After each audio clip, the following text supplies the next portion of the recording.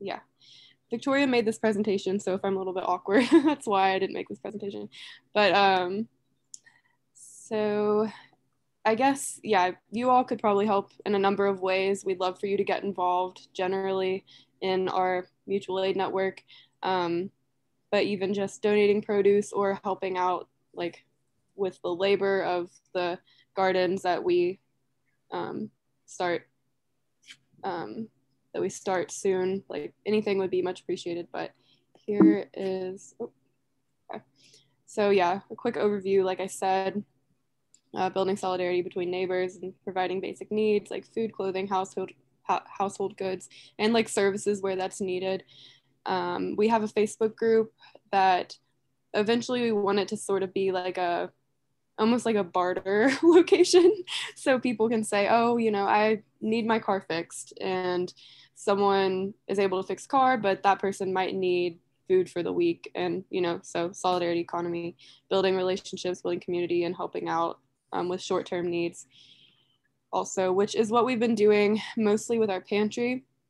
And our weekly outreach um, is kind of just helping out with these immediate short-term needs that there are a lot of organizations that also do this but they require means testing a lot and people always talk about all the hoops they have to jump through to get just a box of food. Um, occasionally it's really difficult so what we do is we have a survey people fill it out and someone reaches out to them and on mondays we deliver food and we go to the grocery store and pick it out especially for them. So um, so far we've been running on donations and um, like donations of pantry items and um, fundraiser donations that we take to the grocery store but it would be amazing to be able to be more sustainable and more um, financially sustainable to like have produce that's locally grown and it's also a lot healthier than what we have to get in the store so that's um, that would be really great. And I forgot to mention we have a trailer that we're operating out of right now because um, we had a pantry space in the DSA headquarters on West Market, but they have a plumbing problem, so we couldn't stay there. And so we bought a trailer that we have parked at someone's house right now, but eventually we want to go mobile and like invite people to come into the trailer, pick out what they need instead of um, picking it out for them and going out. So yeah, donating produce would be really helpful. Um, so like dedicating a raised bed or a few plants to bring to us on Mondays, or we could even pick them up if that would work better. And here's some other ways to get involved. So like I said, every Monday we do outreach and delivering boxes is we have like a few drivers, about five or six every Monday, starting at 1230 that we um, that go out to people's houses and do contactless drop off.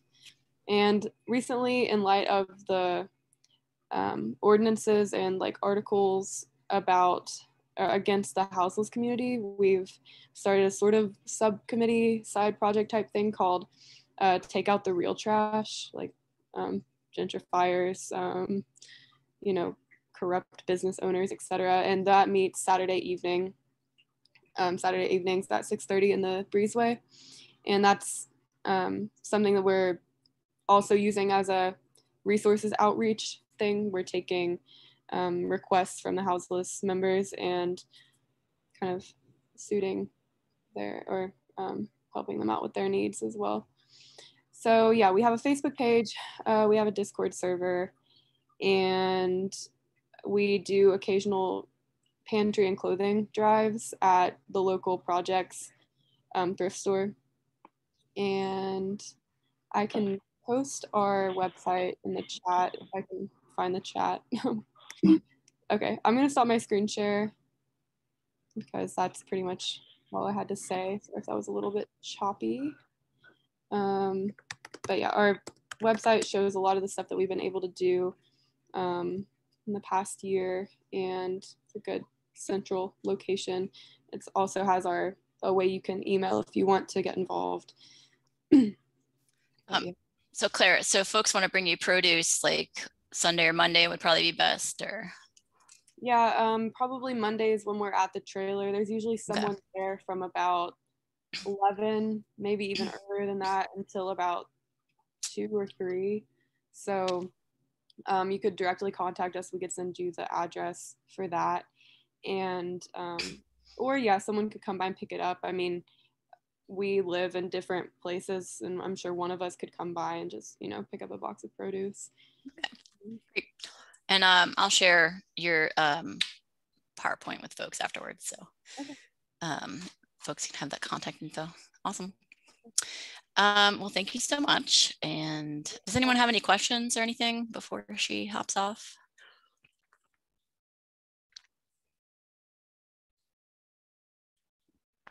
It's Tri Cities um, Tennessee Virginia Mutual Aid Network. I'll type it in the chat. Um, and yeah, we have a Facebook group that and we have a Facebook page and a Facebook group. On the page, we usually post like um, our meetings, the link to join our Zoom meetings, and the group is more of a, a resource hub sort of for people that are local. Cool. All right. Um, thank you so much, Claire. And yeah, thank you for having me. Yeah, have a good night. Yeah. Yeah. Thanks so much. Uh-huh. Cool. All right. Um, okay. So I'm going to get rolling with our presentation for the evening. So let's see. Can everyone see this? Rosie? Anybody? Yes. Great. Uh, sorry. Sorry. Yes. Okay. All right. Planting your garden is our topic for the tonight. So I'm going to go over um, a bunch of different topics. Um, and but at first, I guess I just wanted to give some space. Um, if folks wanted to, uh, if, if, folks had any questions about the garden plants or plant orders, um, if you could just type it out into chat, um, and then we'll kind of, um, just for the sake of time, you, you can type it out and we'll cover it at the end when I see what everyone has questions about, because maybe there'll be some repeats and stuff.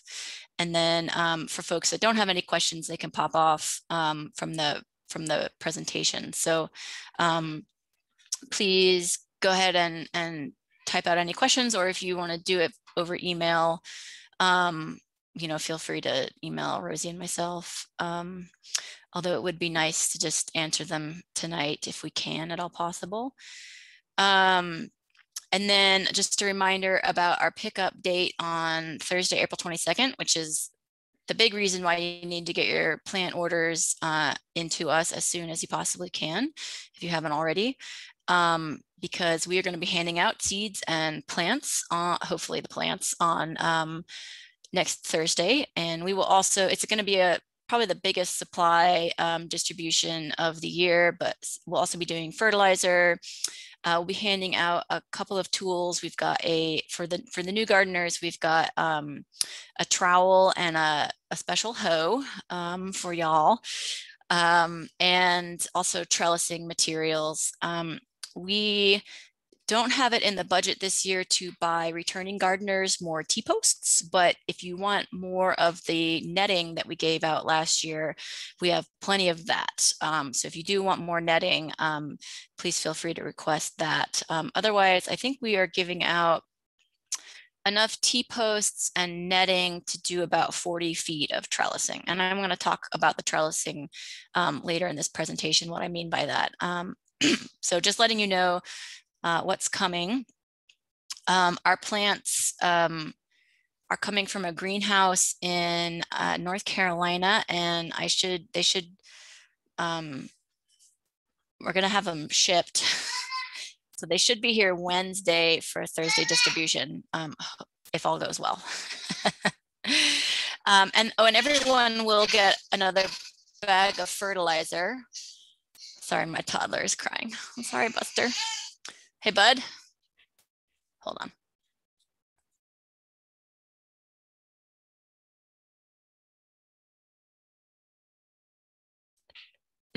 Sorry, guys. Um, everyone will be getting a, another bag of fertilizer. Um, this is um, a 50 pound bag of really awesome organic fertilizer. So um, everyone will get that and you should get your seeds in the plants that you order um, from your crop plans.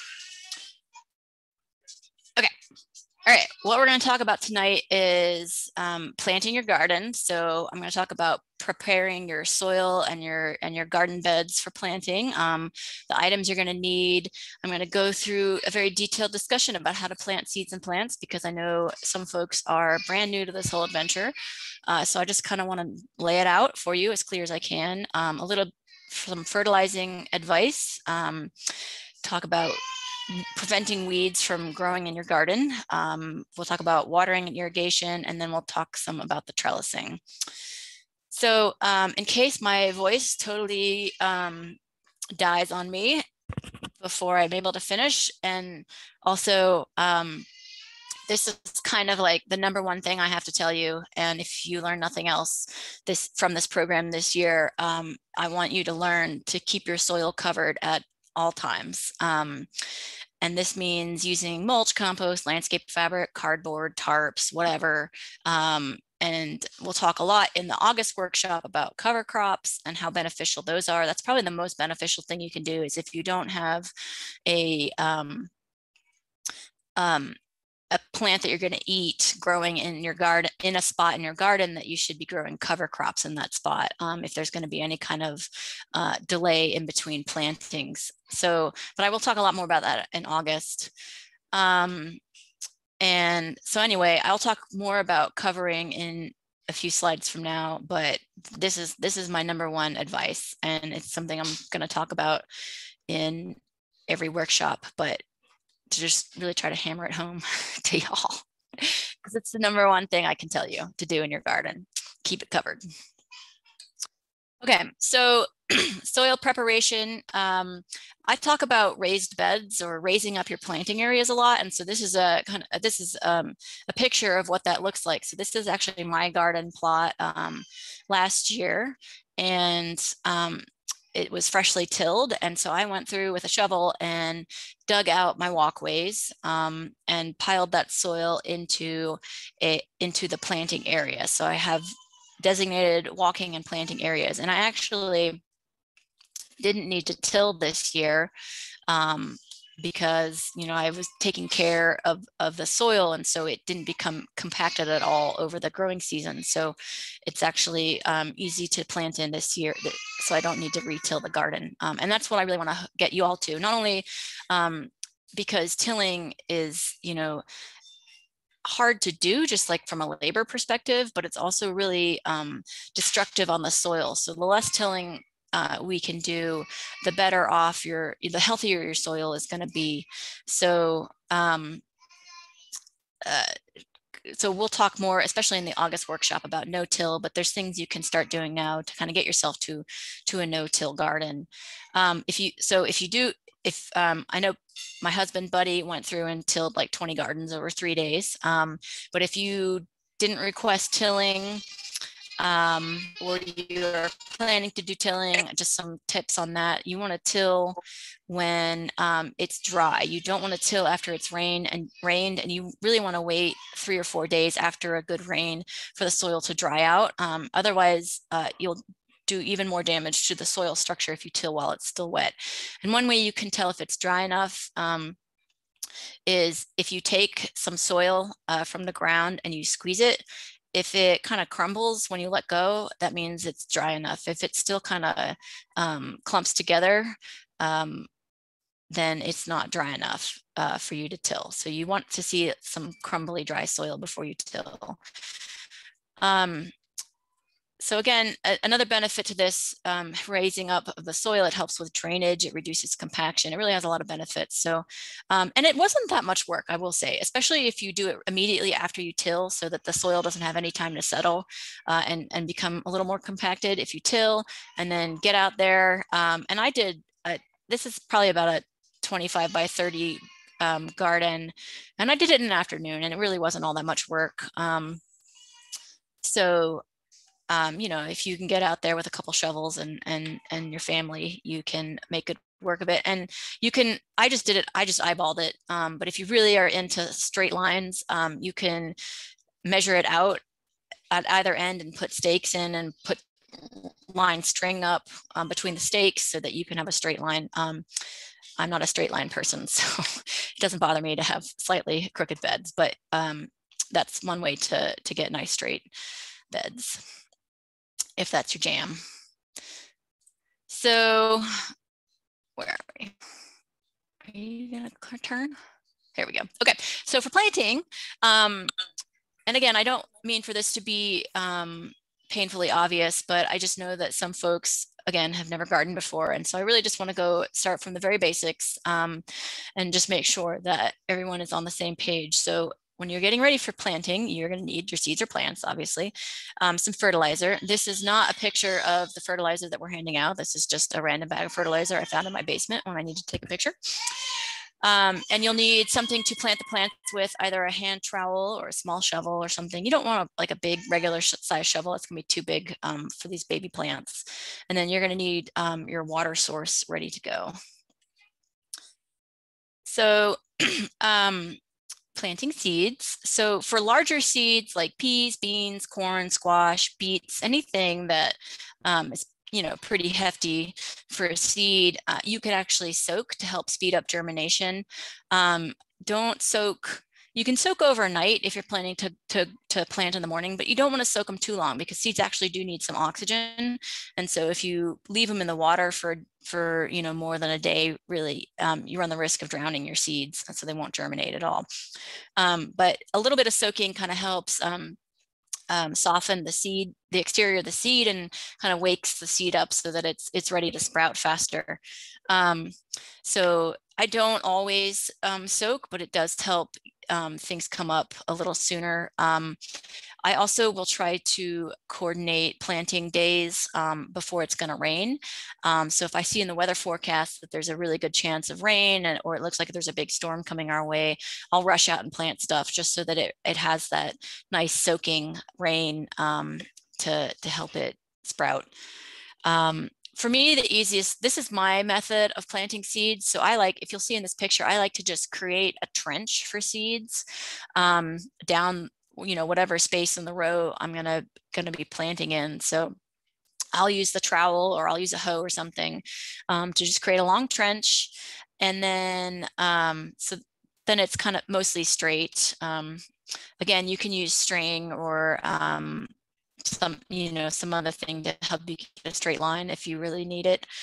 And then I like to put the fertilizer right in the trench um, with the seeds. Um, I don't like to broadcast fertilizer over the whole row because I think that's a good way to just fertilize your weeds. Um, so I like to put it fertilizer right in the trench or right in the planting hole for the plants, just so that the fertilizer is getting to um, uh, the plant where it needs to be and not feeding your weeds.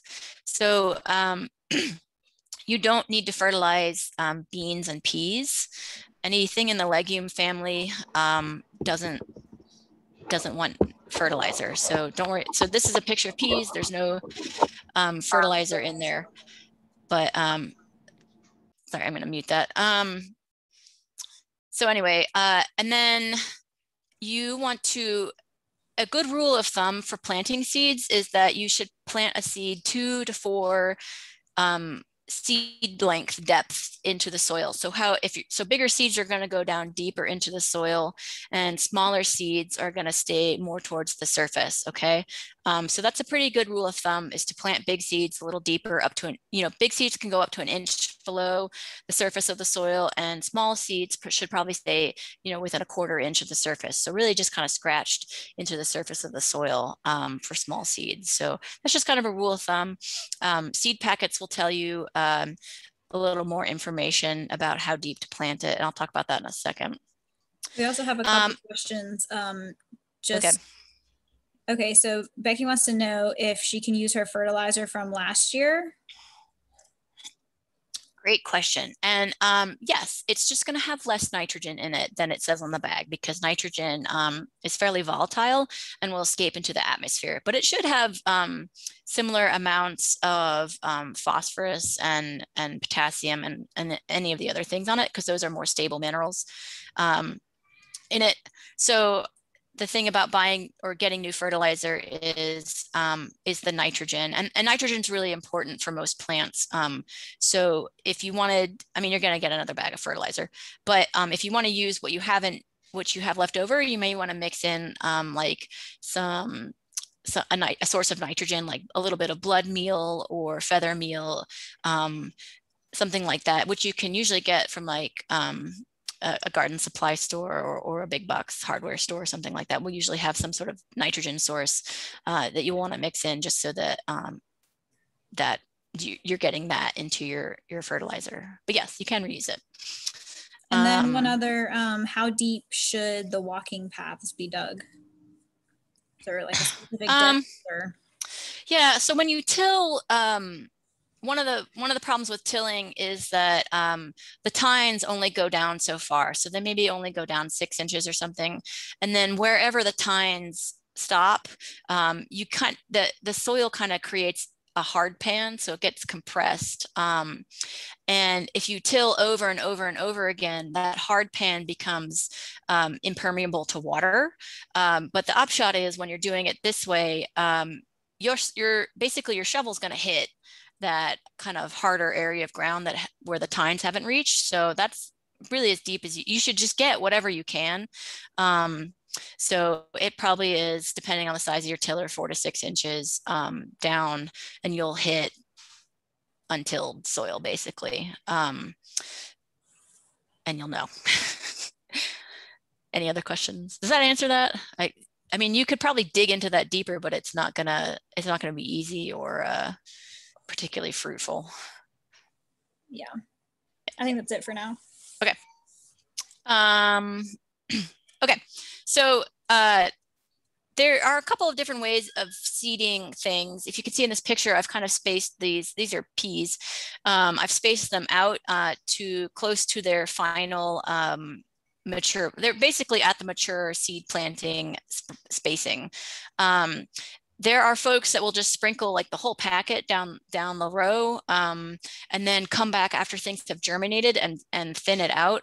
Um, to me this feels like both a waste of seeds because um, you're just you're going to be killing you know two-thirds of what you what you just put out um, in order to have the right spacing. And then it's also labor you know you have to go back and and and and you know the labor of pulling out the extra plants. So i just do a um, um, the mature seed spacing, the mature plant spacing according to the packet or um, the plant cheat sheet and just put them in there. And, you know, if I notice that something hasn't germinated after a week or so, I will go back and put more seeds in that spot. And, um, you know, it's okay if it's like a week, a week late or whatever, it, it'll be totally fine. But um, so just that, this is just my method um, of planting seeds. And so once you have the seeds in there and your fertilizer, whatever you need to put in that, um, you know, cover it with, you know, I kind of, so it's kind of you've dug this trench. And so I just kind of like fold the soil gently back on top of the seeds. Uh, and then um, I lightly tamp it down with the flat end of a, of a metal garden rake um, or some kind of flat surface, just kind of lightly go through and just tamp down um, so that there's good contact between the seed and the soil. And then you want to come through and water very thoroughly. Um, you want to get a good amount of water on there, or if you're timing it, um, you know, right before raining forecast, you don't necessarily, if it's seeds and it's, you know, it's going to rain later or you're hoping it's going to rain later you know um, they can just um, you can you don't have to bring water in that case to them. Um, and with bigger seeds with smaller seeds um, like lettuce and carrots especially you want to be really diligent about watering. Um, with peas i don't necessarily come out and water them. Um, i just they just kind of sit in the soil they're big sturdy seeds and they will sit in the soil and they'll germinate when they germinate, um, which is usually right after a big rain. So, um, but for smaller seeds, um, you definitely want to water every day until they germinate. And again, one of the reasons why carrots especially are so difficult is because they can take up to three weeks to germinate. Um, so, and, and if you don't water them every day, then they definitely won't germinate. Um, so if you're wanting to try carrots this year, you're going to have to get out there and water them every day uh, until they germinate, which could be three weeks from when you plant them. So, um, and then once things do germinate, uh, you want to gradually reduce watering. Um, I would I would continue to water them daily um, until uh, for the first week or so, and then gradually reduce watering. Um, you want to really hit a goal of just watering two or three times a week. Um, and you want to water deeply when you water. I'll talk more about this later in the watering section, but um, you don't you don't want to give them a little bit of water every day. You want to give them a lot of water two or three times a week, and that really that helps the roots grow deep down into the soil and makes your plants more resilient. Okay, seed packet, a little bit about here. We also, um, Rosie and I recorded a little video about seed packets. So um, there's some more, I think she said she's gonna be uploading that video soon if she hasn't already. So um, that'll be up it's there for future up. reference on our, oh, great. On the um, YouTube channel. Tool too. Do what? There's the tool video as well. Oh, the tool video. Yes. I talk about my favorite hose. Um, yes. Um, I, Rosie will email all that stuff out and um, uh, we'll get you. We're, we're trying to create more uh, YouTube content this year. Um, where's my train of thought? Okay, seed packets. Um, so there's a ton of information on your seed packets. Um, you know, there's a little bit about when to start indoors. Um, or when it you know if you can start them indoors and you know when so this is six to eight weeks before you want you before your transplant date. Um, i think these might be tomatoes. I don't remember anymore. Yeah indeterminate probably means tomatoes. Um, so that's six to eight weeks before your last frost date. And so this plant this this um, seed packet actually on the bottom here shows you when um, your target is for transplanting. So they're saying that tennessee you want to do may um, I think if the weather looks good, you can do it or you know late late in April. Um, but anyway, um, and the weather, by the way, is looking good right now. Um, but we are not past the last frost date um, for Northeast Tennessee. So please don't put your tomatoes out. Um, if you have them already, please don't put them out until you you know next week. Our frost date is around April 20th, um, and so what I do on the frost date, so April 20th rolls up, and then I'm going to look at the 10 day forecast. And if that looks good, then it's safe to plant because generally we don't get frost in May. But last year we got a frost in May. I think it was May, it was almost, I think it was May 14th before it was safe to plant um, summer crops outside, which is the latest in, I, I think I've been gardening 10 or 11 years, and that's the latest I have ever seen our frost in in northeast Tennessee. So it happens, and it's it's not great. Um, so you just gotta keep an eye on the weather and be ready to um, protect your plants if you need to, if you get them out early. Um, it also gives information on seed depth. So this is tomatoes are kind of really small seeds, so quarter inch under the soil surface. The final mature spacing, three to four feet. Again, that's a little this is assuming you don't trellis, I think that, that this is that final spacing. So if you trellis, you can get them, I think a foot and a half is plenty. And then days to harvest. And so when you're transplanting, um, it doesn't make it clear on this, but um, this is days to harvest after transplanting. So this is days to harvest after you've already raised your plants for six weeks. Um, if for stuff that's like direct sowed, like spinach and lettuce and that kind of stuff, um, that days to harvest is from the sowing of the actual seed. Um, so anyway, that isn't always clear, but um, you just kind of have to know if it's something you direct sow or transplant. All right, any questions about sowing seeds?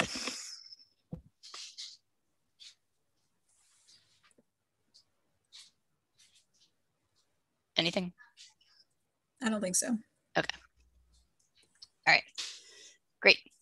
Um, okay, so planting plants. Um, so when you get your plants, you and you want you're ready to plant them. So um, I guess I should have put a slide in here about caring for your plants. So if you're not immediately going to um, put your plants in the ground when we give them on Thursday, um, and they could probably hang out um, for maybe a week or two, but they're going to be in fairly small containers and they're going to get root bound pretty quickly. Um, so please plan on getting them in the ground as soon as you can. Um, And, but if you need to let them hang out till the weekend or for a few days, um, definitely water them every day.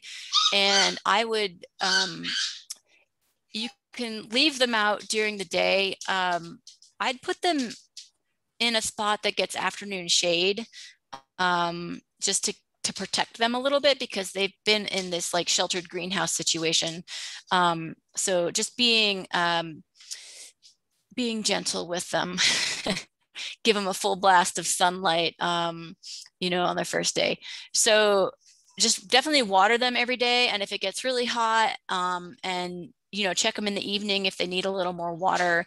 If it's going to get below 50 degrees at night, um, you'll want to bring them inside um, if they're still in their pots. And if they are already in your garden and it's going to get below 50 degrees, you're probably going to want to put like a little light blanket or, or cloth or a bed sheet or something over them.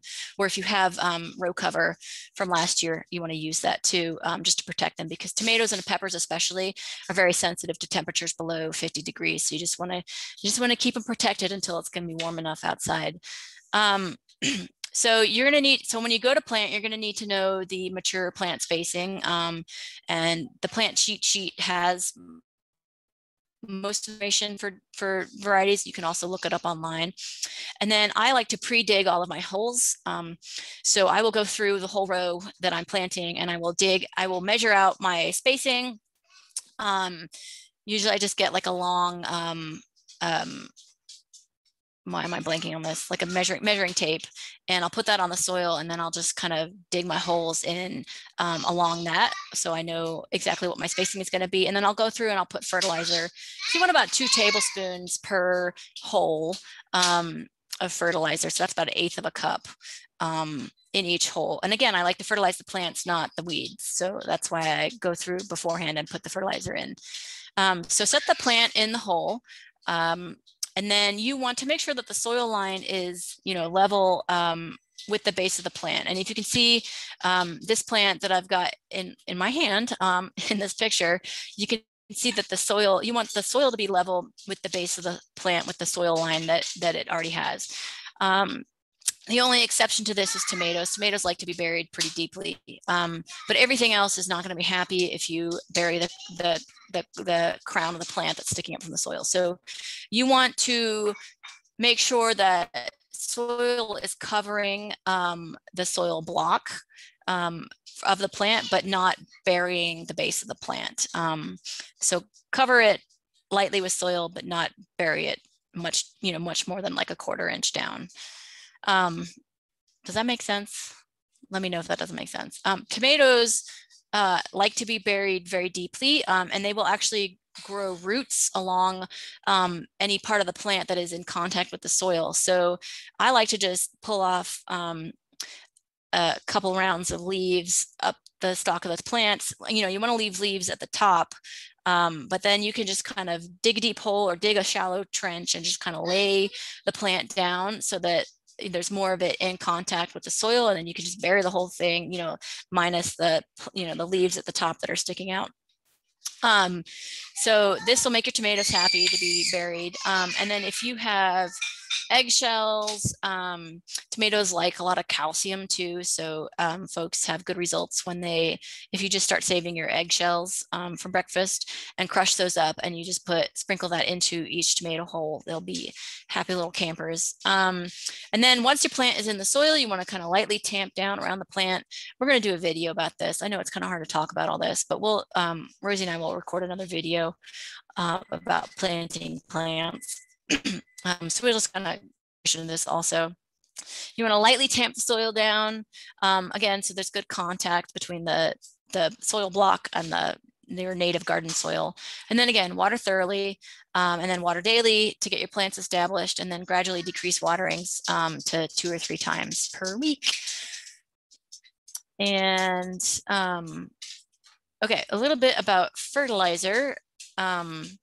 So this is a picture of the bag of fertilizer we're going to give out. It's uh, the brand is Harmony. It's a um, organic um, chicken manure based um, fertilizer. And my apologies, it definitely smells like it comes from chicken manure. It's, it's a little stinky, but it's good stuff. Um, so I wanted to talk about this. So if you go, um, I totally recommend that folks get a soil test done And um, you can do this through University of Tennessee Extension. If you go to your county extension office, um, you can find out information about getting a soil test done. And I think that's really important information to just know what you're dealing with in your soil, what your pH is, what your, your nutrient levels are. Um, so if anything's really off, you can correct it. Um, but when you get your soil test back, it's going to tell you, you know, differing amounts that you need to add of nitrogen, phosphorus, and potassium. And sometimes soil tests also will do um, micronutrients like sulfur, um, magnesium, calcium, um, iron, boron, little stuff like that, stuff that's very important um, from plant growth, but that you don't need in large quantities. Um, so if you do do a soil test and you do, um, if it comes back that you have a deficiency in some kind of micronutrient, so these nitrogen, phosphorus, potassium are the macronutrients, and everything else is a micronutrient um, meaning that it's needed in very small quantities. If you have a micronutrient deficiency, holler at me and I'll take a look at it and I can tell you um, what to add, if anything. Um, so anyway, generally every year, um, folks will need to add nitrogen at the very least, because again, like I said, it's um, it it tends to off gas back into the atmosphere. So um, even from the soil, your soil is basically exhaling nitrogen. Um, so you need to add, definitely need to add nitrogen every year. And then um, a lot of times our soils are deficient in phosphorus. So you'll need to add some of that. And actually around here, I see a lot of times folks have an abundance of potassium and so they don't need to actually add any more potassium to the soil. Um, so if that's if you do a soil test and that's the case, um, you know, holler at me and we can discuss that also. But for the most part, adding a, a kind of a gentle, balanced organic fertilizer um, such as harmony is just kind of good practice. Um, so these macronutrients, i.e. the nutrients that, that are needed in the most quantities are um, nitrogen, and that's for leaf growth, um, phosphorus for root growth, and then potassium um, is for anything with a fruiting body. So a tomato or pepper or even a, you know, a squash, that's, that's the fruit of the plant. And, and, and those utilize um, potassium the most. So um, that's kind of the basics of it. And then um, that number on the bag, that 543, represents a percentage. So this fertilizer is 5% nitrogen, 4% phosphorus, and 3% potassium by weight. Um, so knowing that that it's in percentages if you get a lot of the soil tests come back and they are in conventional um, so it'll often be different numbers uh, and so you can do a little math um, basically so if it tells you you need to add if the soil test says you need to add one pound of nitrogen per thousand square feet, that's often what it'll say, something like that. Um, and your your fertilizer that we give out is 5% nitrogen, then you can divide one pound total of nitrogen by 5%. If you divide that, you get 20 pounds. So that's how much fertilizer you need to add 20 pounds of Harmony um, fertilizer to your soil in order to get one total pound of nitrogen to your soil. Um, because it's because 20 pound because it, the harmony is 5% nitrogen. Okay, that I know is um, a little complicated, but it just kind of helps knowing this if you um, buy a different bag of fertilizer with different amounts of nutrients in it, or you get a soil test and you want to try to convert to see how much harmony or whatever other kind of fertilizer you need to add to your soil, okay? Any questions about that? I think that is Okay. Um, oh, co-op has soil tests for 10 bucks. Great. Yeah. Um, and there's online labs that you can send it off to that are even cheaper. Um, UT is a little expensive. Uh, it's $20 a test. Uh, it's however, it's just really easy to do. And I'm sure co-op, uh, the co-op, the farmers co-op in Jonesborough is also probably pretty easy. So, and it's cheaper if you want to go there. Um, or actually, I think there's farmers co-ops in every county, not just, I just was thinking of the one in Washington County because that's where I live, but wherever you are, there's probably a farmers co-op. Um, or you can call your extension agent and see if they know of a cheaper option and they won't mind to tell you, they don't care. Um, okay, so um, let's say your soil test comes back really wacky and you're way off on a certain nutrient um, and but your other levels are fine and you don't want to over you don't want to add too much of stuff that you don't need. Um, you these are just a list of, and this this is going to be in the um, folder um, on the Google Drive, so you'll be able to access um, this slide afterwards. And so if you want to look reference this, um, but basically there's sources of direct sources of nitrogen, like alfalfa meal, blood meal is a I've I've seen blood meal a lot in like at Lowe's and at um, like Mize and Evergreen, so it's pretty accessible. I've occasionally I see feather meal. Um, sometimes you can find fish meal too. Fish meal is a good one because it usually um, contains other um, good nutrients in it too. Cottonseed meal is also a nitrogen source. However, it's very acidic, so it would be a good one if you wanted to put it on like blueberries or like rhododendrons and azaleas, any kind of plant that really wants a lot of acidity um, and also needs nitrogen. Cottonseed meal would be a good one for that. But I wouldn't use cottonseed meal in just a general situation because it's going to be too acidic. Um, phosphorus bone meal is probably the most readily available one. Um, and then rock phosphate um, is a rock mineral source. Um, that's very slow releasing because you're basically just adding rock dust powder to your garden. Um, whereas the bone meal is going to decay pretty quickly and be accessible to your plants. The rock phosphate may take a few years to actually adjust your um, um, phosphorus levels in your soil. Um, potassium, potassium is a little harder. Um, if you um, truly have a weird potassium deficiency, and again, most of the time I see a lot of potassium in our soils. If you truly have a weird potassium deficiency on our soil test, holler at me and we talk about getting um, getting more potassium into your soil. Um, but I don't normally see that. So uh, Okay, assuming you're just going to use our fertilizer um, on the bag, it says. Oh, There's okay. a question. Um, Karis asked, can't you use fish water like from a tank as a good nitrogen source or urine? What about cow manure com compost tea? Um, so anytime you're going to use something that's not composted, you're going to run in, especially on food plants, you're going to run into um, issues with pathogens. So um, if you're going to use any kind of animal byproduct um, that doesn't come in a bag, um, then you want to um, you want to be careful about not getting it, not touching the part of the plants that are going to be eaten, right? Um, and so I, I know I've seen folks that are very into humanure, HU manure, human manure, human manure.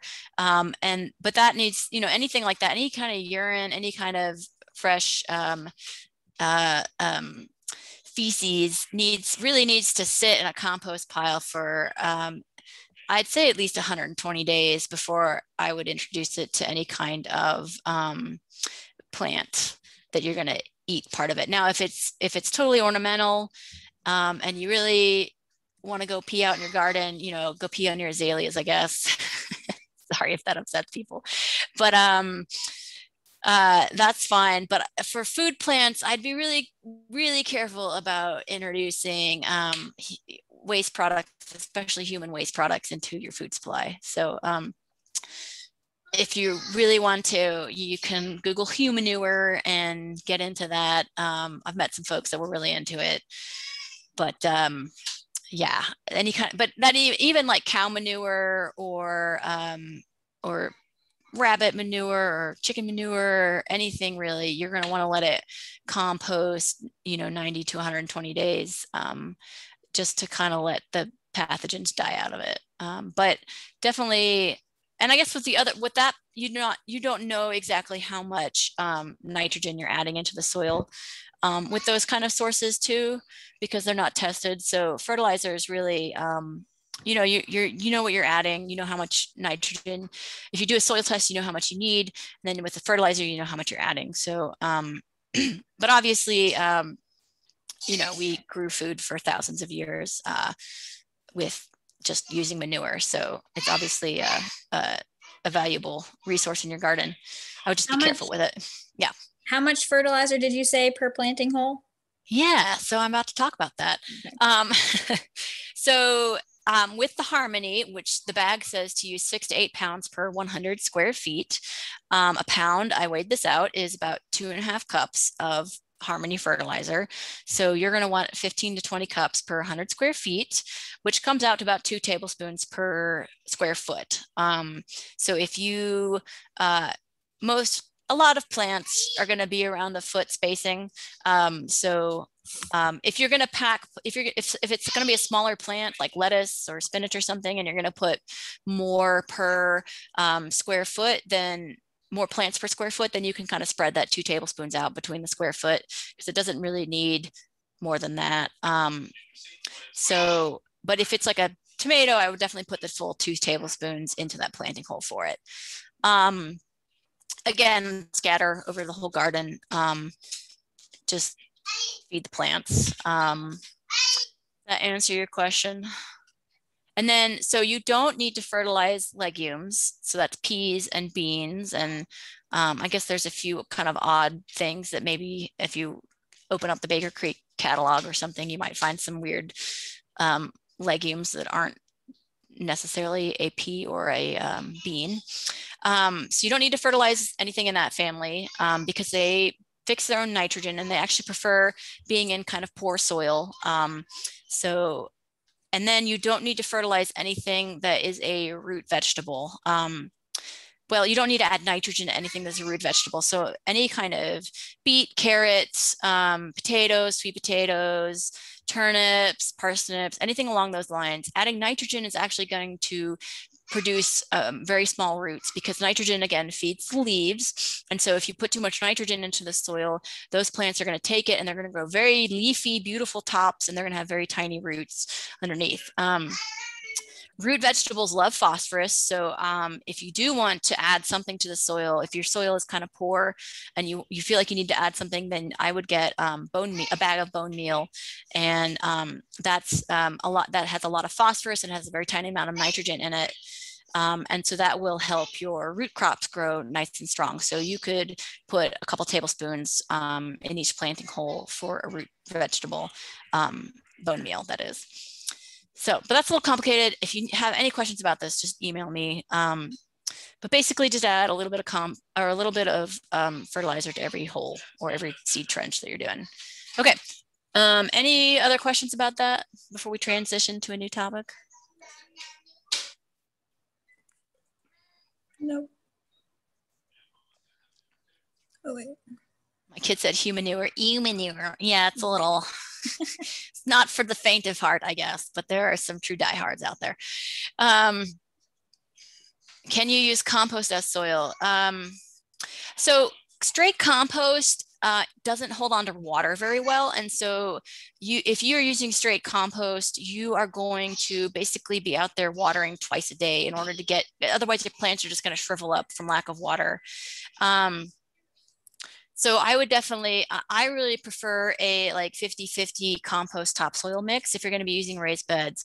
Or, um, and this is going to be a lot more expensive, but um, if you can also do, um, if you'll look up the square foot gardening um, raised bed mix. So that is like compost, um, um, what's that? It compost, a little bit of perlite, and then it's, why am I blanking on this word? Um, not coconut coir, but the other stuff. Anyone? I'm like, my brain just like totally left me. Um, Peat moss. Moss. Thanks. Yeah, oh my God. Why I just I don't know. I don't know where my brain went. Peat moss. So it's peat moss, perlite, and compost. Um, so basically making potting soil for a raised bed. But no, I would not just do straight compost. Um, I mean, it looks nice, and you can you know, once you have a good soil compost mix in a raised bed, um, you can top it up every year with another inch or two of compost over it. That's great. Um, but I wouldn't just do it straight because it's just, it doesn't hold on to any water and it just immediately leaves the bed um, once it's in there. And so your plants are going to be constantly thirsty. That's just my, my experience with straight compost. So it needs something in there to hold on, um, either the peat moss and the perlite or a topsoil mix. Um, okay. Um, so weed prevention is um, a favorite topic and again, this is going to come back to covering your soil. So what what is a weed? You know, and, and I hear, you know, people make the joke, it's just a plant growing in the wrong place. That's what a weed, you know, any plant that's growing where you don't want it is a weed.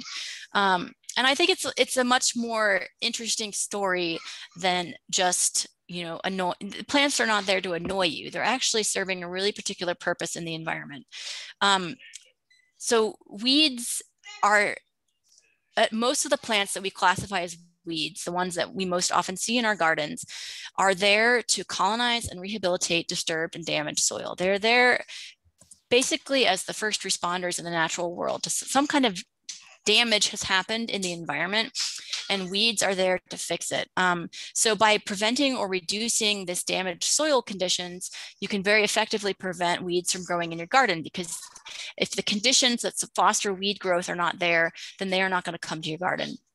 And so what are those conditions basically? Um, it's it's basically bare and so disturbed damaged soil is basically bare uncovered soil. Um, the only times in if you look around the natural world and um, you know not places that have been disturbed by humans but if you look at a forest or you look at a, at a meadow or a field um, you're never going to see bare soil unless something bad has happened you know? Um, there's been a, a, fire you know in the, this example of this picture there's a fire flood uh, landslide some kind of disaster has happened and soil has become uncovered because um, Otherwise, you're always going to see something either growing in the soil. There's, the soil is going to be completely covered in plants, or it's going to be covered in like a, a you know a layer of rotting leaves, like in, under a forest or something. So, um, bare soil is most basically damaged, disturbed soil, and so these weeds are um, they're there to to heal the soil. Um, and so the one thing you can do to prevent weeds is to never ever leave your soil bare or uncovered. Always have something covering your soil or something growing in your soil at all times. Um, you know, cover crops, mulches, landscape fabric, cardboard tarps, whatever. Um, to prevent the ground from being bare in your in your garden. Um, so weeds, you know, they have the ability to grow. They're very hardy plants. They grow in very poor conditions, like you would see after a fire or a flood. Um, they reproduce extremely quickly. They grow very quickly. They produce an abundant amount of, of foliage. Um, there are some weeds plants that can produce 100,000 seeds per plant. Um, a lot of the common weeds will do this. And so if even one one weed comes that goes to seed in your garden that's 100000 new weed seeds that are just there. And a lot of these seeds will last you know they can stay in the environment for 20 or 30 years. And then when the conditions are right they will sprout. And when conditions are right that means bare soil. So you've just tilled your garden um, and you know it was grass. So you you say you had a, a, lawn you had just grass there and you till and you leave it uncovered for a period of weeks and then all this crazy stuff that's not grass pops up and so basically those seeds were just kind of sitting in the soil waiting for damage basically to occur so that they could spring into action and and do what they need to do.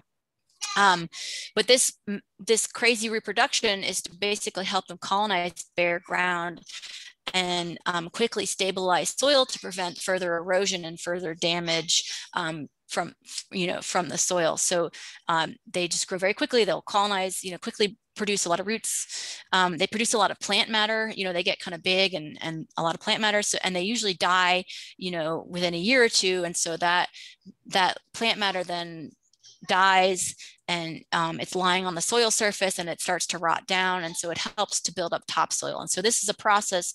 Topsoil in nature is something that can take 50 or 100 or more years for it to produce a single inch of topsoil. Um, so it's a, it's a kind of a long-term process you know gradually taking you know let's say a burned area back to a full forest you know it's a process of several hundred years but that these weeds are the first the first part of that process of, of restoring the land. Um, Weeds also often, if you think about dandelions and burdock and other things, um, they have very deep tap roots, and that serves another purpose, uh, not just to annoy you and you know that you have to dig down a foot in order to get the dandelion root out, um, but those tap roots also, um, you know, they they're scavenging nutrients from very you know far below, you know, from several feet down below the soil surface, and they're bringing it up into the plant itself, so that when again when those leaves die and they rot down, those nutrients are brought up from deep below, and they are are then rotting on the soil surface so that other plants can then have access to those nutrients. Um, so i mean in this perspective weeds are really a beautiful part of nature they're they're not there to just annoy you but but they're responding to specific conditions that we often create in a garden setting and so you know thinking about weeds in this perspective um, is going to help you um, prevent them from the beginning and then that's going to save you a lot of time and effort you know in your gardening career because no one wants to be out there in august weeding. It's terrible. Um, so just preventing them from the beginning and you're not going to be 100% you know your first few years but i think you know as you incorporate um, mulches and ground cover and cover crops and all the other you know soil health stuff you know as you build up the health of your soil you know by following what we're trying to teach you um, you will have fewer and fewer weeds in your garden because you will not be fostering the conditions where weeds grow. Um, so for everyone that just had their garden tilled um, this past week, then I totally recommend that you get something on top of that soil. I know some of you have huge, huge plots, and that's not necessarily going to be practical for you to cover it all. Um, but just getting something um, over it as best you can um, is going to be your best bet. Um, that and planting out as soon as you can, um, getting something in the soil and getting the plants you want to grow in there, uh, and then using a lot of mulch or using landscape fabric or some kind of other row cover um, or uh, soil cover um, is going to go a long way in saving you from spending hours and hours weeding, basically. Um, so that this is kind of the heart of everything I have to teach you, as I said at the beginning, is to just keep your soil covered with something.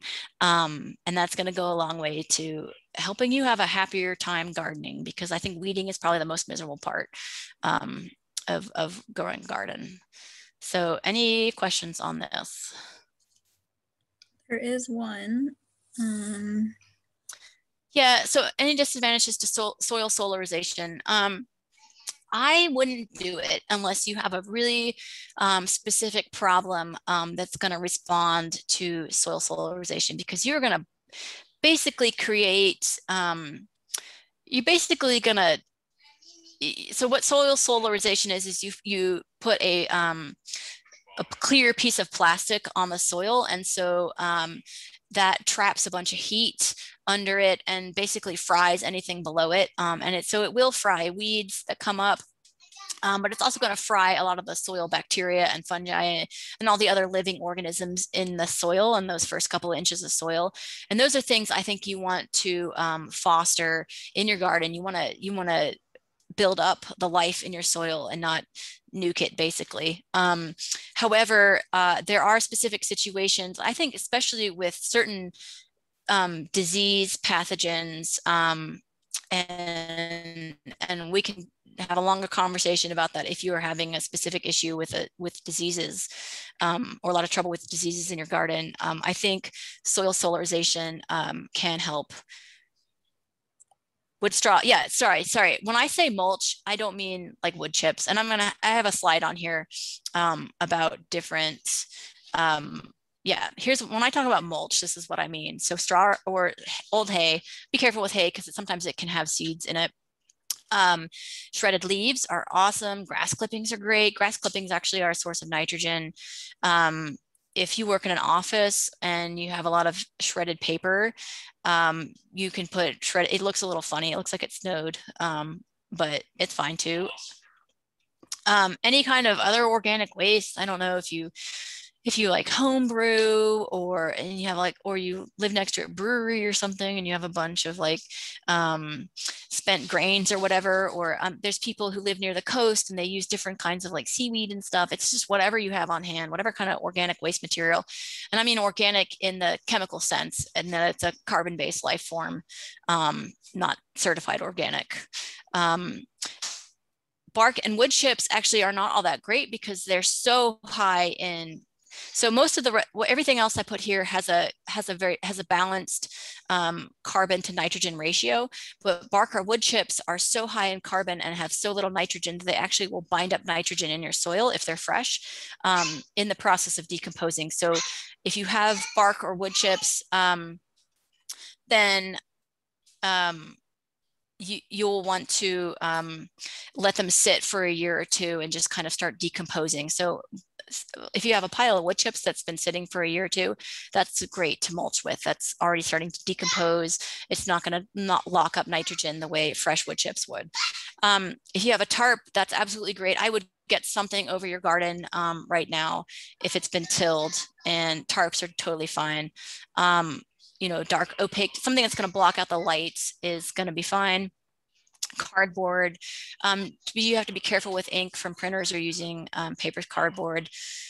Um, I think it's probably in such a small quantity. Um, if you are using shredded paper that's covered in ink and you're using a ton of it and you use it year after year, maybe you might run into problems. But I think on a small enough scale that the soil life is probably just going to deal with it. Um, um, I would not use tarps to plant into. I'm going to talk a little bit about what you can use in just a minute. Um, um, okay, sorry, she asked about solarization again. You have the greenhouse plastic. I, I don't know. I'd be hesitant to, to use the clear plastic. I just feel like you would fry, fry things that you want rather than deal with the weeds. Um, so any, any kind of material, straw, hay, anything is probably better than nothing, but I don't know. I'll think on that one for you, Mimi. Um, Okay.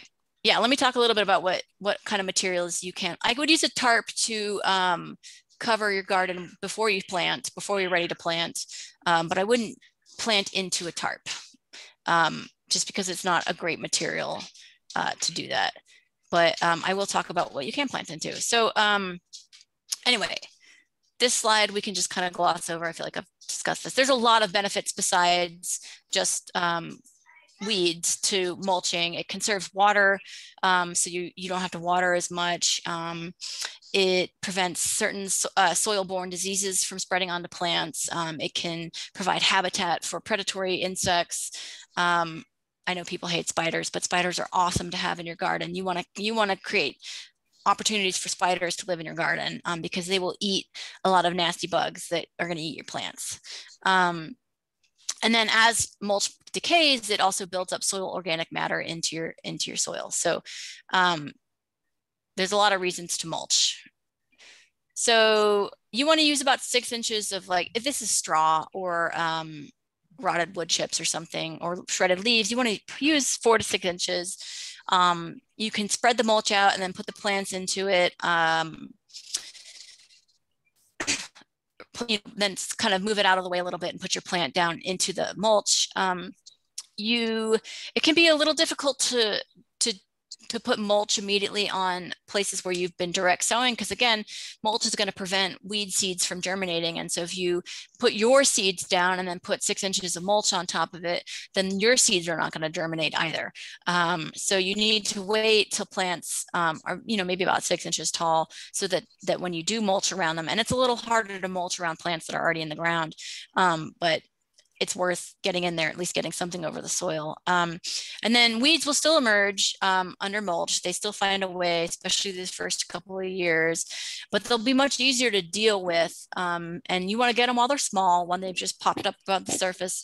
You definitely don't want to let any weeds um, go to seed as much as you can prevent it from doing that. Okay, so um,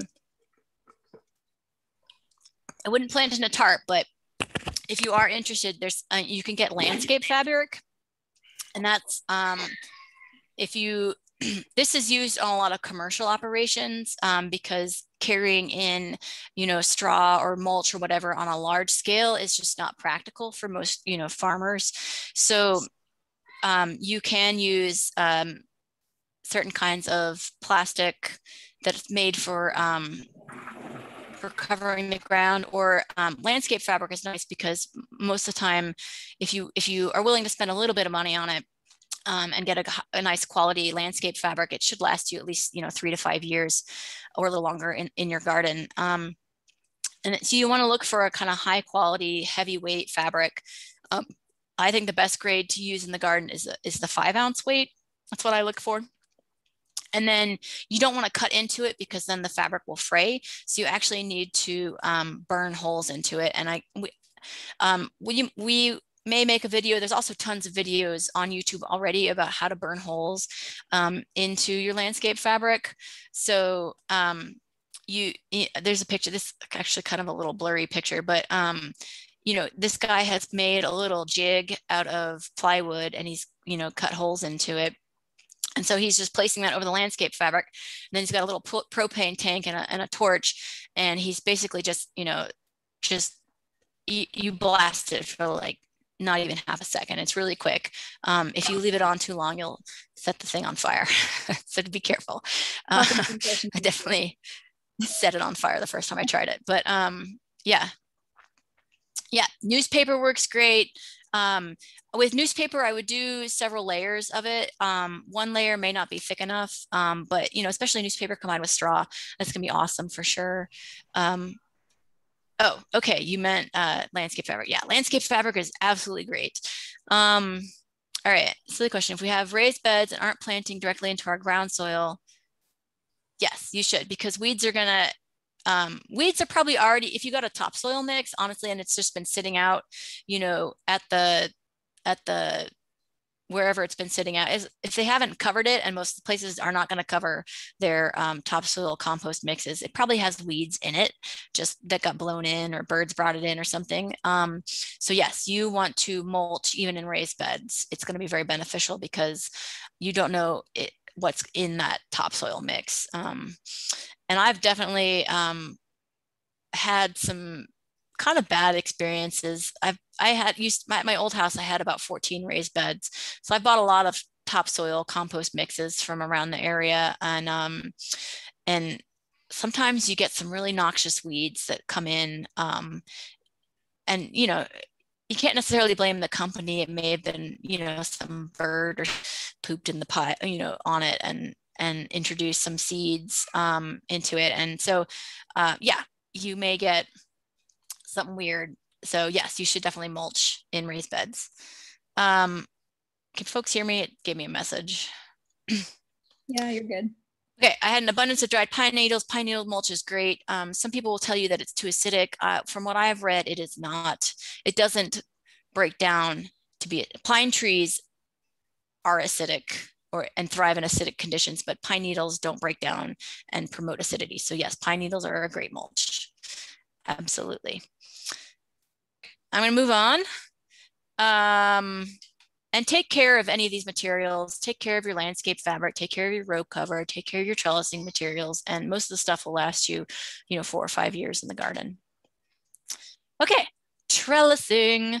Um, trellising is a form of vertical gardening, which, you know, if you Google vertical gardening, you're going to get all kinds of like trendy, fun little projects. But um, it's basically you're just raising up your plants off the ground so that they're not in, so that the vines of the plants are not in contact with the soil.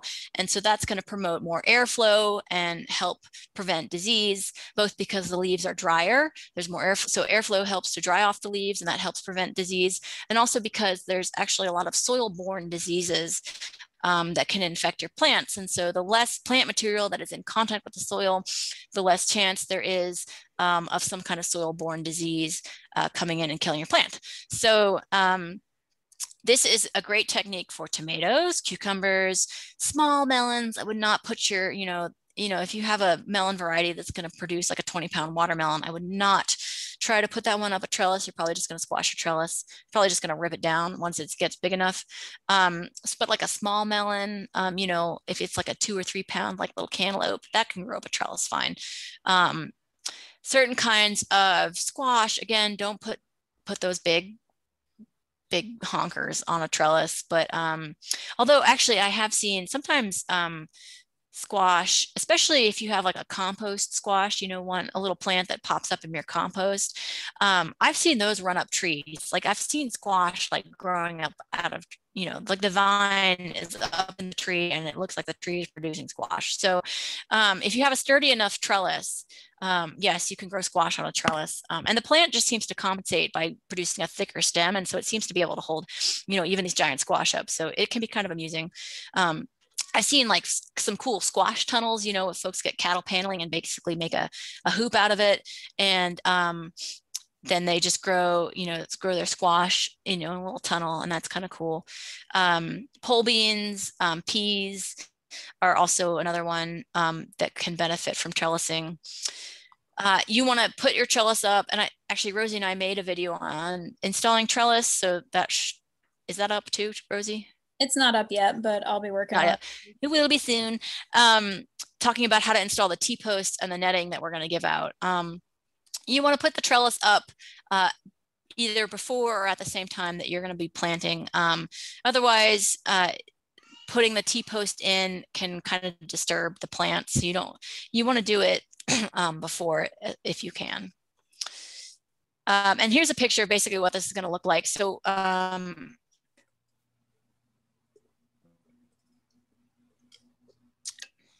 we're getting there. We're almost there. I'm gonna make it. Um, this is we're giving out these T posts and um, this netting. It's um, it's a lot sturdier than it looks. It's gonna look like really flimsy netting, but honestly, if you um, follow our instructions for installing it, you're gonna be able to. It, will hold up pretty well. Um, I don't think I've ever had anything pull it down um, in the many years that I've been using it. So it's called Hortonova netting. It's it's a professional grade um, trellis material uh, for agriculture. So it's it's pretty sturdy stuff. Um, so for any of these, you want, you know, you want your T-posts at the end, and then um, you want to space them every five to eight feet. So you can get up to eight feet if it's going to be kind of a lighter plant, like maybe your, um, if you have pole beans that are, or like um, peas or something that are not going to create really heavy fruit, you know, you could probably get away with that eight foot spacing. But I'd say in most cases, you want to do like a five foot spacing. Um, that's really going to be optimal in terms of like, you know, spreading out your, your T-post resources because the T-posts are kind of expensive. Um, so you get that's kind of you know the, the trade-off between distance and and, and strength basically um, five feet is probably your your goldilocks spot um, yeah, so tomatoes I wouldn't do more than five feet, basically, because those plants do get heavy. And then with tomatoes, um, and I have another video up on YouTube. Um, tomatoes, you don't necessarily need to use the the netting um, on them. Uh, you can, but you actually like like cucumbers and beans. They will actually grow. they'll weave themselves. They'll grow through the netting just fine but tomatoes won't. You'll actually have to train them into the netting. And because you're kind of having to bend the plants into the squares, you run the risk of just snapping the top of the plants off. So that's not great. Um, but we have another method um, of trellising tomatoes. So you don't need to install the netting for tomatoes is basically what I'm trying to say. And you can just plant, you put the T-post in, plant your plants, and then you let them grow until they're about a foot tall. And then you start on this thing called what's called the florida weave. And um, i guess because florida grows a lot of our tomatoes and this is a, a technique um, used down there i guess that's why it's called the florida weave. Um, it's kind of a funny name. But anyway so you're basically using twine to build the trellis around the plants as they grow. So as the plants grow, you add more twine on either side of the T-post and basically you're just sandwiching the tomatoes in with twine and like one strand of twine isn't going to hold your plants up but because you've got like five or six strands every six inches or so um, you know that's really going to stabilize your plants and i mean you can get this you know as tall as your trellis is so five or six feet up in the air um, by basically building this trellis around there. So it works pretty well.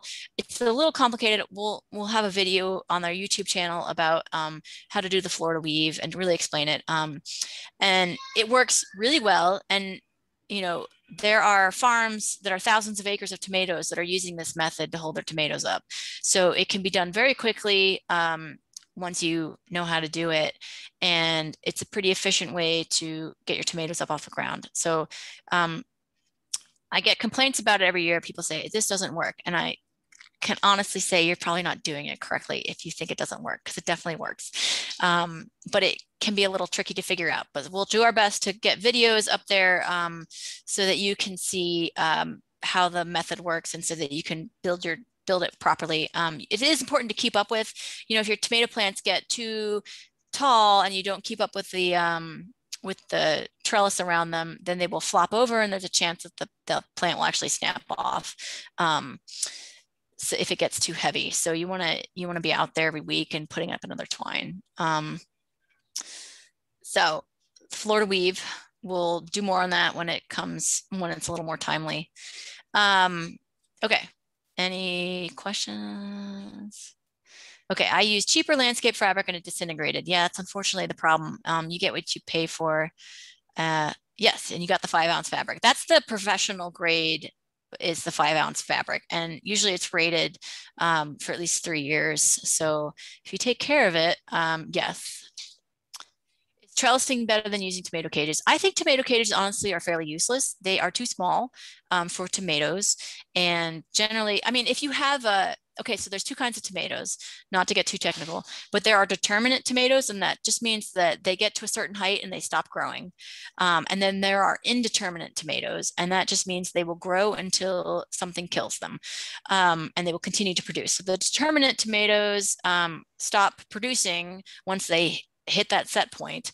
Um, and and that's nice if you're canning because if you're if you want to can a bunch of tomatoes you can plant determinate tomatoes and they will all basically produce fruit and stop growing around the same time so you can harvest all your tomatoes at once and can them. Um, but most of us love heirloom tomatoes and we love eating tomatoes for the whole summer so we want to plant those indeterminates and those are going to keep growing. And they are going to get far too large for those tiny little tomato cages bless them um, although i will say tomato cages are great for holding up peppers so let's rec- let's call them pepper cages. And so I love using them on peppers. They're like the right height and the right stability to keep your big bell peppers upright and from falling over. So that's my advice on tomato cages. Um, they just are too small. Um, what about cedar wood chips for mulching? Um, I probably would not use cedar wood chips. Um, they cedar is a has has some pretty powerful um, natural chemicals in it, and I uh, I don't know that I would spread that on my soil unless it had been um, rotting for, you know, at least three years, two, three years. Um, but other types of wood chips, probably you can get away with just a year of rotting. Um, okay. you can, oh, Kitty's got some advice for, for doing some emergency surgery on your tomatoes. that sounds amazing.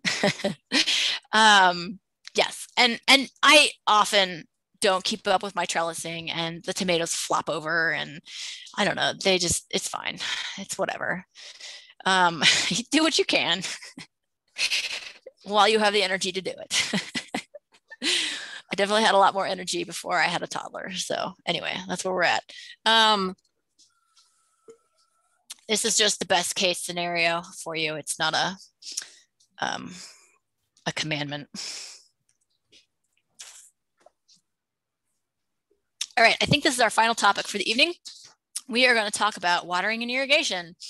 Um, so you need a plan now before you plant anything for how to get water to your garden if you don't have one immediately available. Plants need one inch of water per week. Um, and then they will need an extra inch of water for every day above 90 degrees. And um, hopefully we won't have too many days above 90 degrees because those days are really terrible days um, in general. Um, so it really depends. Some some summers, two summers ago, it was just 90 degrees for like three months and it was terrible. Um, and then last summer, even though it frosted really late, it was actually kind of a nice mild summer. Um, and so I think we only had two or three 90 degree days. So it was totally cool. But anyway, so the hot, if for every day that it is above 90 degrees in your garden, you will need to add another inch of water. So what is an inch of water um, look like? So an inch of water is two thirds of a gallon per square foot of garden. So if you have a 500 square foot garden, that means you need to put every week 330 gallons of water. So when I say you need a watering plan, um, don't expect that you're going to be able to carry 330 gallons of water to your garden in a five, you know, five gallons at a time. Um, you really need some method of delivering water to your garden um, that doesn't involve you carrying it.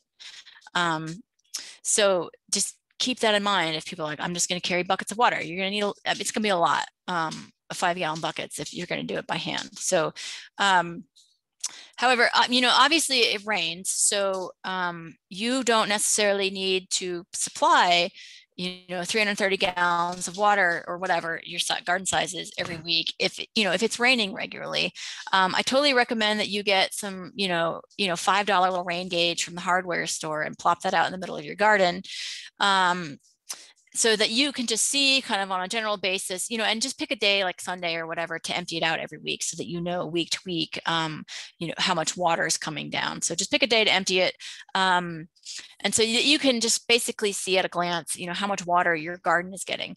Uh, you can also check um, precipitation totals. There's a website called Weather Underground, and the website is wunderground.com and you just want to find the tab that says calendar view and then you know obviously look up johnson city or wherever you are. But this will give you um, and obviously this is for the past it's not going to tell you the in the future how much rain we're going to get but it'll tell you you know in any given week um, how much rain we got. So you know let's just say this was last week we got what about 0.3 so we got about a third of an inch of water so you know that you need to add another two thirds of an inch of water um, to keep your plants happy and this is kind of a general overview of the whole area so it's not going to tell you specifically what your garden is so if there were like isolated showers um, you know a lot of our summer storms are like that it's going to rain like in your neighborhood but it's not raining elsewhere so that may not register on um, this kind of general uh, site. So really having that rain gauge in your garden um, is really going to tell you what it's doing in your garden that week. Um, but it's it's good to have this website as a backup just to kind of see in general. Okay, so if this were last week, I and I I would know, or this were this past week, I would know that I would need to water um, because they didn't get enough. Uh, so if you're gonna there are, i'm going to talk about different options for watering so um, at its most basic you can just get one of these like five dollar little um, uh, hose um, watering hand watering things and um, you basically want to time how long it takes you to fill like a one gallon bucket and that's or a five gallon bucket that's going to tell you um, what your flow rate is so um, use a gentle setting like shower. You don't want to just like blast everything away. Um, if you hit it with like the jet stream, um, and then you want to water at the roots. You don't want to spray your leaves down at all as much as you can. You really want to um, get water to the roots as much as possible. Um, and then water, if you are watering by hand, I would totally recommend that you get out there early in the morning um, and water your plants so that uh, the earlier in the day that you can water, the better. Um, even if that means that, you know, it's afternoon when you get home from work, you know, if you can water right then, that's better than watering later in the evening. Um, just the more water on leaves is going to cause is going to help disease spread, fungal disease especially. So the drier your leaves are on a regular basis, um, the less fungal disease pressure you're going to have in your garden. Um, and that's part of the reason why I tell you to water, you know, two or three times a week. And that's just kind of minimize the amount of water that's getting on your leaves. Obviously, you can't prevent rain uh, from coming down, but um, if it, we have a dry summer, you know, that can help prevent a lot of fungal diseases if you're being careful about how you water. Um, there is overhead irrigation. I think this costs 40 or 50 bucks. You can get one of these tripods and one of these um, uh, rotating impact sprinklers um, online or at a hardware store. They're pretty good. Um, I like to combine, if you're going to go with this route, I would combine this with a rain gauge in the middle of your garden just to kind of see how much it's it's going because you can't necessarily tell what the flow rate is on one of these things. Um, and I would run it for one to two hours, two or three times a week, um, depending on what that rain gauge tells you. And again, um, I would run this as early in the morning as you can because this is totally going to get all your leaves wet. Um, so watering before 10 a.m. Uh, is optimal, and that'll give your plants time to dry before we hit the evening. Um, when so nighttime is wet and cool nighttime weather is going to foster more disease growth. Um, so having dry plants going into the evening uh, is optimal for preventing disease. And then um, if you want to get it early in the morning and you don't feel like, or you, you keep forgetting to do it, you can combine that with an auto timer on your spigot um, and that'll turn it on. And some of them will even do like a 48 hour um, uh, timer. So you're not, so it's not going to come on every day. Um, so you can, you know, different prices. Um, find different mechanical or electronics um, uh, auto timers for your sprinkler. So that may be worthwhile if you keep forgetting to turn your water on and off at the appropriate times. Um, drip irrigation is the best. It's also the most expensive. Um, so, and it's it's more difficult to set up. A basic gardening kit that you can find online um, is going to run you probably at least 100 bucks, if not closer to 200 bucks. Um, but most of the equipment that you get is going to last you, um, you know, at least five years, if not longer. Uh, although the actual drip tape, the part that's going to be getting water to, directly to your plants, um, is probably going to need to be replaced every one to three years, depending on how well you take care of it. It's just thinner material and it punctures really easily. Uh, anytime you have a puncture hole in it, it's just going to spew water out of it. So um, you just need to keep an eye on it and and take it in in the winter and take care of it. Um, drip tape will water the roots directly. There's no water coming up onto your leaves, so it's and it's also the most efficient um, when you're spraying water out over your plants, a lot, some of that is going to evaporate um, before it even hits your soil. So this reduces evaporation. So it actually will save you on your water bill over the long term.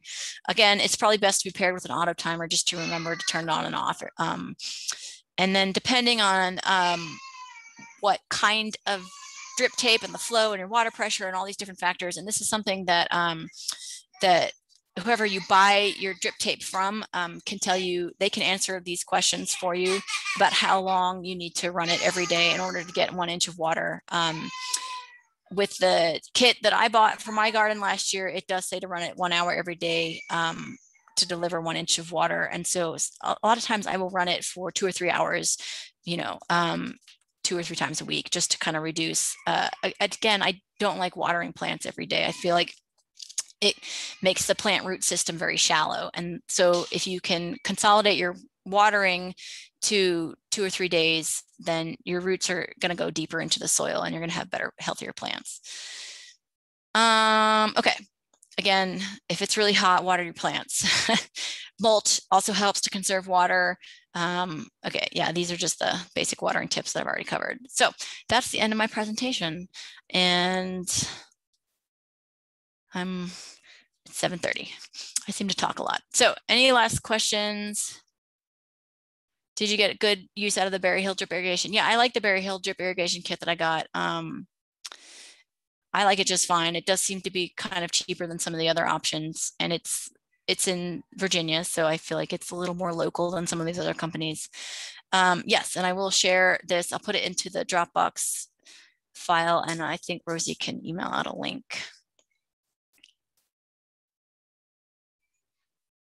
Okay, yeah. Uh, yeah, so asking about timing um, for putting seeds into the ground, it I will let you know because um, some things like squash um, are very frost sensitive, so you don't want to put them in.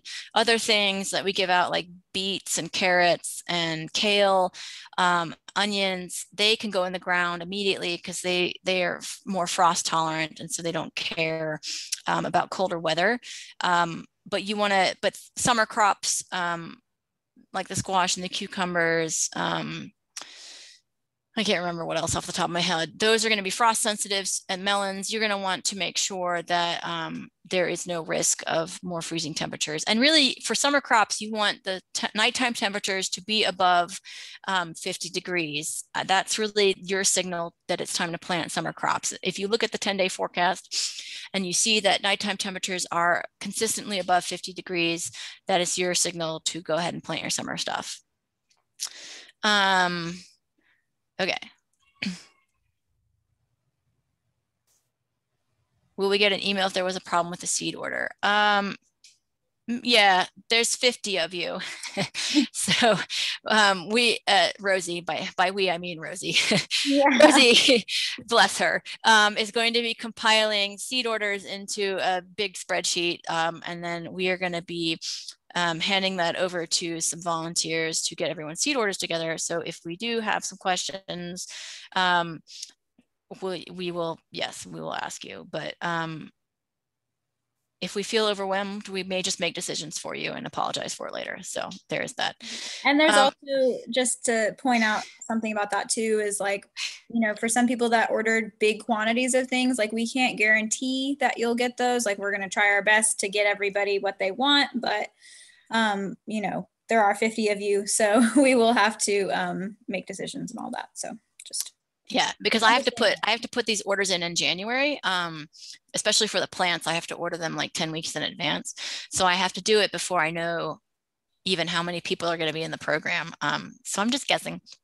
Um, so most of the time we have plenty of plants. We, we usually have leftovers of a bunch of stuff too, um, but things like broccoli especially is really popular, um, and so I never can seem to order enough broccoli, even though I increase the number of trays that we buy every year. Um, so, um, but we will do our best. But if you get, and generally we will give you as many plants as you ask. It's just if every, if, you know, we put all the numbers into the spreadsheet and we find out that, you know, we have 600 requests or 600 requests for 600 broccoli plants, but I only ordered 500 or whatever, then we have to, some people aren't going to get everything they request. Um, but anyway, we will do our best.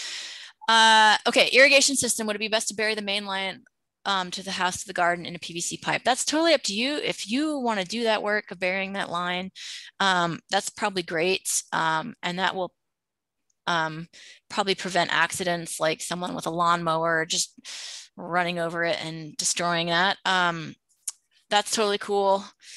Um, but it's not a requirement that you do it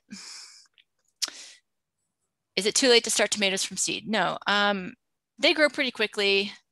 Uh, I mean, you're not going to get them in the ground first thing in May if you start tomatoes now, but you can definitely um, get, you know, by mid-May, you probably have plants that are ready to go. Um, yeah, because we only provide, I mean, there's a bazillion different kinds of tomatoes out there, um, and we provide, I think, four varieties. Um, and granted, they're my four favorite varieties. So uh, you're getting Lexi's four favorite tomato varieties. But um, if you want your four favorite tomato varieties, you you still have time to start the seeds. Totally. Um, um, I would gen- we probably won't just give you one. We probably give you at least two plants. Um, uh, it, just in that case. Um, so uh, yeah, I generally recommend ordering at least two, unless it's like the herbs um, that aren't basil. Basil um, we get in large quantities, but things like the sage and the rosemary and thyme and lavender and whatever else we're giving, those are perennials, uh, and they also get to be quite large. And so, um, if you ask for more than like two or three of those, I'm probably gonna question you about it, just um, because they will eventually produce a lot of plant material, and you probably don't need more than two or three companion plants. Um, I kind of covered companion plants in the last workshop, which is basically by saying that diversity is great in your garden and that I think a lot of those charts that tell you that um, like tomatoes and carrots or whatever hate each other and don't plant them together, I think that's mostly hoodoo and it's not backed up by any kind of science. So um, yes, diversity is good, plant things together, um, but don't necessarily be terribly concerned about what is going together. Um, I'm gardening in raised beds and likely ordered a re- meager amount. Well, that's okay. I mean, if you um, generally, if you stick around, if you come back at the end of the plant giveaway day um, and you feel like you you look at the plants that you've got and you're like, this is not enough. If you come back at seven or whenever the planting day is done, um, we will give you more plants or sign up for a time slot that's towards the end of it. Um, and we'll kind of know what we've got left over and we can give you more. Um, oh, yeah, I think that um, there is a kind of a little companion planning cheat sheet, but again, I don't take it as gospel. it's just whatever. Um, if I have raised beds, yes, you should get soil for them ASAP because um, plants are coming next Thursday. So if you can get soil in this weekend, um, you won't want to do that. Um, otherwise, your plants are going to be sad. Are there any flowers to avoid having near the garden? No, flowers are great. I would avoid planting perennials in inside your garden, but um, if you have like an annual flower, that's actually great to put in your garden. Um, the more flowers, the better. Uh, flowers are basically food for beneficial insects most of the time. And so by having more flowers in and around and all over your yard, um, you're going to be attracting all the really good bugs in to your garden. And, and I'm going to talk more about this. I can't remember if we're doing pest or disease control first, but in May and June, we do pest and disease control, um, one or the other and I will talk more about attracting beneficial insects. But basically, um, flowers are great. Put flowers in, and you want flowers of very of different sizes too. So you want big flowers and you want tiny flowers and you want simple flowers and complex flowers. So the more flowers you've got growing in your garden, um, and I would say even you know five or ten percent of your garden space should be devoted to flowering stuff, um, just to kind of get that diversity of insect life into your garden. Bugs are good, most of them. There's only a very limited number of bugs that are bad, um, and we will discuss those in great detail. Um, should we avoid planting fruit trees close to the veggie garden? Um, the only thing I would worry about fruit trees is if they are going to shade your garden. So um, you could put, I would keep any tall trees as much as possible, if you haven't planted them already, um, to the northern side of your garden. So, um, and then I wouldn't put them too too close to the edge of the garden either just because the tree roots are fairly aggressive at taking up water and nutrients. And so the tree roots will actually if you're putting fertilizer and water into your garden those tree roots are going to come straight for that um, and they're going to kind of put roots in your garden. Um, so uh, yeah they're not that other so the roots i would worry about the roots and then i would worry about shading. Um, so i'd probably leave at least like 10 feet in between um, a fruit tree and your garden. And keep in mind that if you're putting in like a standard apple tree, that's going to get to be, you know, 30 or 40 feet tall and wide. So um, just keep in mind the mature end end result of that tree. Okay. My voice is still here if there are more questions. um, otherwise, we will get this up. Um, on to the drop or the Google Drive and we'll get stuff out to you as soon as we can. Great. Thank you all. I am uh, going to go and uh, drink some more tea. I have plenty of local honey. Listen, I have been trying so many um, home remedies for this darn thing. Um, In fact, here's my honey. It was right next to me this whole time in case emergency honey. Um, okay. All right. Um, holler if you have any questions. Um, thanks so much for joining us again. We'll get the recording up and all that for you soon. So y'all have a good night.